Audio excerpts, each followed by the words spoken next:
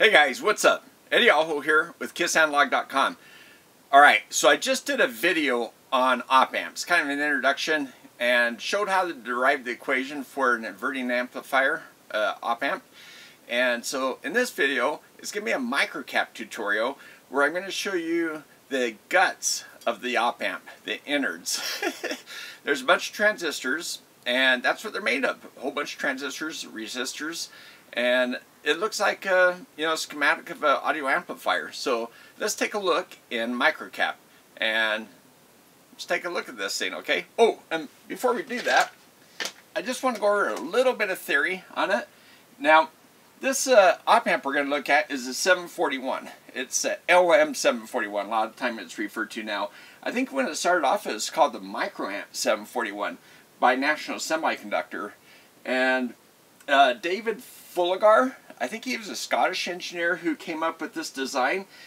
Uh, it wasn't the first op amp design, but it was one of the first, and it came out in 1968, I believe. And wow, it's still around. It's a very common op amp. Um, it's a general purpose type op amp. It's made up of BJTs, bipolar junction transistors, a whole bunch of them. Now, after that, they started to make them out of BiFETs. They called it BiFET technology, and that was bipolar with FETs. And they used the FETs on the input, like uh, I think they used a lot of JFETs for the high in input impedance, extremely high input impedance on those things. But you could still get the high gain from like using a bipolar. So they kind of mixed the two together. But and you know you can get those kind and uh, today, but the 741 is still a very common op amp. So we're going to take a look at the insides of it, and you know the, the thing with the op amp is ideally it's going to have a lot of gain, and then it's going to roll off, and you'll see how that uh, works when I show you the insides of the op amp. But it rolls off somewhere around 10 hertz, and it rolls off about I think 20 dB per decade, basically crossing over the unity gain 0 dB, which that means like if you put 10 millivolts in, you get 10 millivolts out. It's unity, uh, gain of 1, which is 0 dB. And that happens right around the targets, usually I think 1 megahertz, okay? So what that really means is that when you set up the gain with your resistors and so on, you're going to be operating, you know, beneath that, somewhere in here. Now it starts off with 100 dB gain. That's gigantic. So you know, often you'll have 20 dB, 40 dB gain, something like that. So you're going to be operating down here, and if you add some capacitors in that, you can cross over a little bit earlier. Otherwise, your gain will just come out here until it hits this line and then follow it down. So let's take a look. All right, so here we are in microcap, and we're going to go to help search sample circuits. And I'm going to type in 741 for the op amp. There's two of them actually. I'm going to grab the top one, load that, and okay, so I've I have made a change. I've I've changed the text and I've added Kiss Analog. So kind of forgot I did that. Anyway, here is op amp. Here's all the transistors, diode. Look, there's diode, but it's mostly transistors and resistors. And what we have here is our input circuit let me see, there's our input voltage right there and our output over here. And we have our voltage rails, our plus 15 and our minus 15, minus VC right there. And then we have these two offset pins and they're tied into this input circuitry so you can uh, balance out your input if you want. So you have that capability. Well, if you look up here, right in the middle, there's a capacitor, 25 picofarad. So that capacitor right there, one end is tied right there. It's tied to the input circuit all the way over here. The other end, if I hover on it, you can see it's tied to the output drive circuit. So it's a feedback cap. And that is what is going to give us our feedback gain. And it's just a capacitor. So that means that it's going to, you know, we're going to see our gain drop off the way we see a capacitor impedance drop and as frequency goes up. So here, we could simulate this right now. Let's go ahead and do an AC simulation right here. and it's all set up. Let me see, dB V out and phase V out. Okay, and let me see, here's the ranges right here, X, Y. Up here, we see the number of points, and here's the plot 0.1 hertz to, uh, what is that? That is like 10 megahertz. So let's go ahead and run it. There we go. So here we are at 0.1 hertz. So way out here in low frequency, we have really high gain. And if I hover on it, looks like about, yeah, it's pretty close to 100 dB, 97.6. Then right here at 10 dB, we're rolling off. And so we're rolling off right around 10 hertz. So right around 10 hertz is where we're rolling off here. And then we drop off. And let me see how many dBs per decade. Here's 10K and here's 1K. And we've dropped, see at 1K we're about 60 and 40. So we're dropping 20 dBs per decade.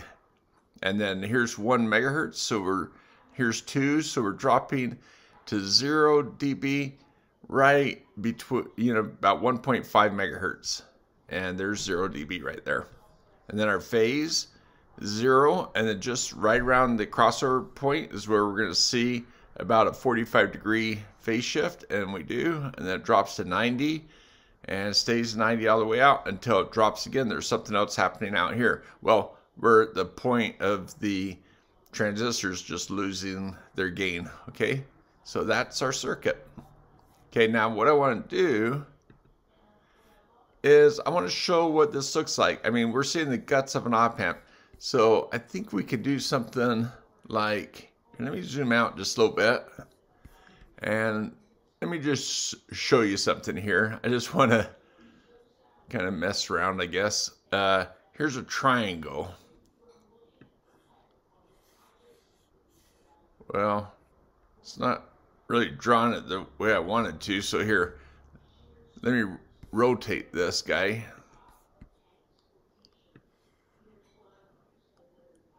That's the shape of our op amp, right? See, can I stretch this out? There we go. So I was just trying to show you the, the op amp look. Um, if I grab this output here Let's see, can I stretch it beyond there? So there's our output. Whoops.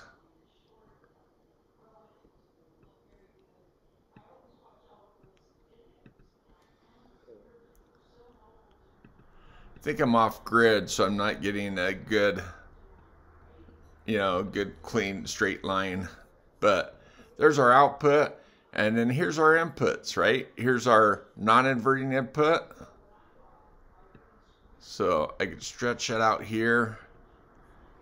Here's our inverting input. Oh, you know what?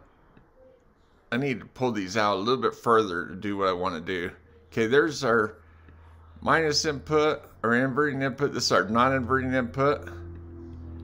What I want to do is I want to put some gain on this. So I'm going to go ahead and delete this line.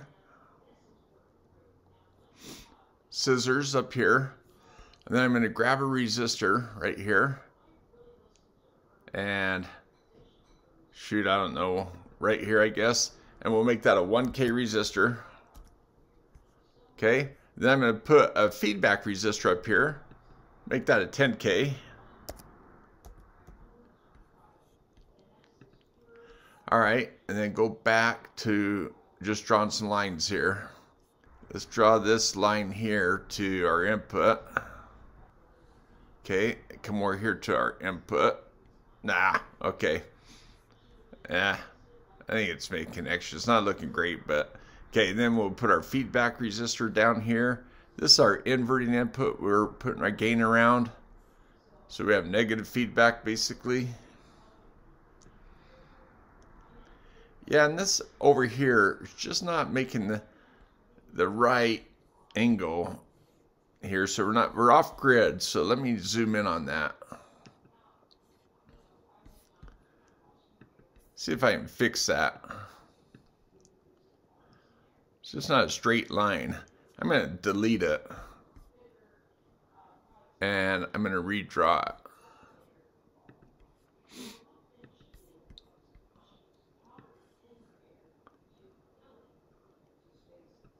Okay, and here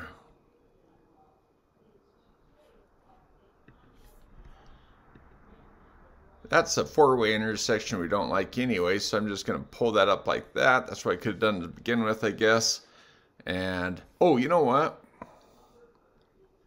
Here, I want to show you something. I actually fixed this, and I guess I saved it. I kind of forgot that I did that, and I changed the text at the same time. Originally, what you're going to see if you go to your circuit, you're going to see that drawn that way. And semiconductor, uh, they'll do schematics this way, and it looks funky and they might have three or four transistors or even more all tied together and they tie the bases and they just put them in a string parallel like that. That's because they have so many transistors it's hard to draw the lines correctly. But come on, in this case we only have two transistors that are drawn that way. So I just grabbed it and I pulled it down to make it look normal, like correct, right? Uh, but yeah, the semiconductor guys, they get so many transistors that we got to give it a pass. I mean, it's hard to draw everything on one page, you know, with with all the transistors. So anyway, but that in that case, that was a mistake, I think. So here we go. Um, you see a four-way intersection right here, which I don't like to see those, so I could even move that over like that. And so yeah, uh, it just makes it, you know, more obvious uh, when they're connected. Okay, uh, I mean, when you're zoomed in like this, everything seems obvious, but if you print it off or something like that, it's not so obvious. So here's our 10K feedback or 1K, so that's a gain of 10, right? And it's a minus gain, but we're going into the plus with our input, so we end up going 1 plus the gain. So uh, it's a gain of 11. All right, so let's just go ahead and run our analysis again.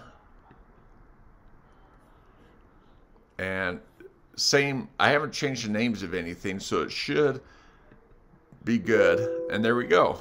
So now look our gain is like 19 and we come all the way out here.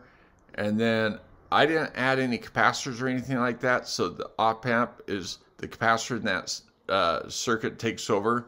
If you imagine this ramp going all the way up to 100 dB before we just intersect that ramp and it comes down to 1.5 um, megahertz like it did before. So we're just intersecting where that curve was. Now, if we added a capacitor in our feedback, we could change this so we could, you know, have it drop off after say 20K or, you know, we could have it drop off 40 dB out here or something like that. But there we go. And then look, our phase stays down at zero all the way out here at 10K because, and then we intersect that phase line again because now we're dropping the gain below that 10 hertz where before at 10 hertz we got a phase shift. We don't see that phase shift down because our gain's never doing that. It's never hitting that pole which uh, that capacitor makes a pole what we call it where the gain uh, drops down. So we're not seeing that. So therefore we don't see the phase shift. Now the phase is flat all the way up to 10 20 kilohertz which we like seeing say audio uses and that. But yeah, there you go. And then this circuit over here, if I want to hit this one right here, I can resize that so we can see the whole thing. And yeah, so I drew the op amp. There you go. That's your non-inverting op amp with a gain of uh, 10K and 1K making 10 plus the non-inverting is 11. So a gain of 11. So that's what that should be. Take the log of that 20 times and it should come out to be about 20 dB. I mean, that's about where we are. Okay, all right. So there you go, guys. If you want a copy of this, the way I've drawn it, I can send it to you. Send me an email. But you can find it yourself and make your own corrections and try this on your own as well. All right, so what do you think? Pretty cool, right? Bunch of transistors and it's just cool that microcap has all these built-in uh, circuits that you can play with so there you go there's another one you can play with and you can change those gains and you know work with that and and you can play with the value of that capacitor by the way now remember save the circuit before you start playing with it Uh, and then that way you keep the original circuit. You can always call it back up. And you can always save your new circuit under some other name. Okay, but yeah, I, I often put like my name and maybe a date so I remember when I was working on that circuit when I'm looking through my files. That's, yeah, that's one way to do it. But anyway, have fun. And hey, I want to give two thumbs up to my patrons. Really appreciate you guys. And you become a patron for as little as a dollar a month. Links down below. But thanks for watching, and we'll see you next time. Hey guys, and a little tease. Uh, our, our Australian Santa Claus has sent me this BM786. You know, Dave uh, was super nice, sent me this thing. He kind of did a video and opened up the 77 and compared the two. I was going to do a video, it's funny how we're kind of timed up right, because I was going to do a video that same time, but uh, it didn't work out. So anyway, mine's coming a little bit later, but it's going to be an actual review of the 79.3 because I have the 79, not 77. I used to have a 77, but I don't know where it is. Anyway, got this BM786 I'm going to put batteries in. And I might have to pull out the Fluke 189 because that's probably going to actually be a better comparison. But, yeah, yes. Anyway, that's coming up.